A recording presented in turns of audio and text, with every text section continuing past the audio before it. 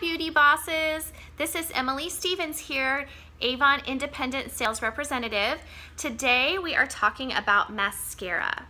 I am going to show you how I apply mascara, but I also have a really good tip for you for your mascara. So with our mascara, today I'm using the Avon True Color Nourishing Mascara. This mascara is awesome. It's my favorite. It's my best seller. It has argan oil. It has vitamin E.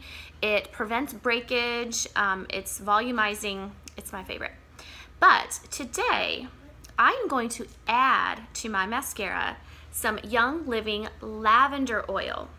Young Living because they have a seed to seal promise and I know I'm getting 100% pure therapeutic grade oil. Now why am I going to add lavender to my mascara? Lavender promotes hair growth, so it's gonna strengthen and lengthen my lashes over time.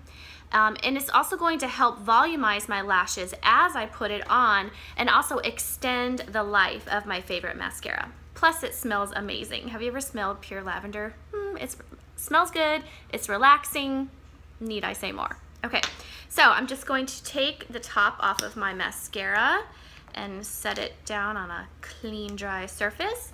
I'm going to open my Young Living Lavender Oil and I'm simply going to drop one single drop into my mascara. One drop is all it takes. This awesome plant oil go, oops, I accidentally put two in, that's okay. Um, it goes, it lasts a long time or a little goes a long way. Okay, so then I'm not gonna pump it because that's gonna get air into the mascara, but instead I'm just gonna kind of swirl it around and mix it around, okay? It already smells awesome. So I've already done my full makeup look except my mascara. Today I used the 8-in-1 eyeshadow palette in Smoky Nights you can see which colors I've used the most of. But this eye palette was just used on season 16 of Project Runway in the Makeup Lab. And so I'm excited to try some of these other um, burnt orange colors that they used in, in episode one of season 16. So I always love to try new things. So I'm going to show you how I apply my mascara. I've got my little tiny mirror here.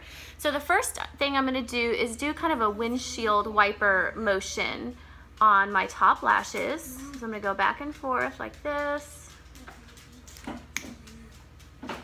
And I'm gonna go back in. And then I'm gonna do a back and forth motion across the or the tops, the back side of my lashes. Your back side of your lashes want mascara too.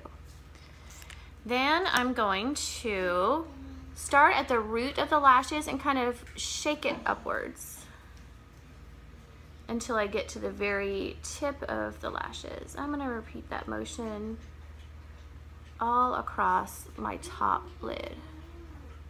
Okay, so there's my top. And then I'm gonna do the same for the bottom, that back and forth windshield wiper motion. I don't know if you can see what I'm doing. And then again, that up and down, back and forth. I'm not gonna go too heavy on the bottom lashes because I want my eyes to be wide open.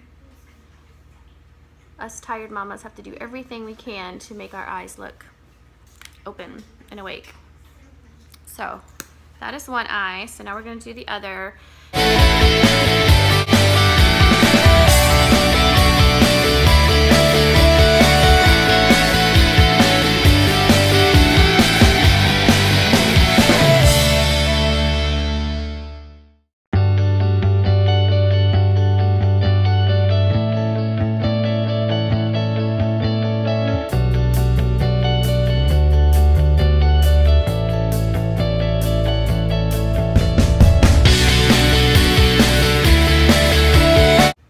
That's my finished look. It's pretty quick and pretty easy. Um, but again, that lavender oil is going to extend the life of your mascara, help your lashes grow um, strong and thick. So I hope you enjoyed my tip. You can subscribe to my channel for more makeup tips and how-tos.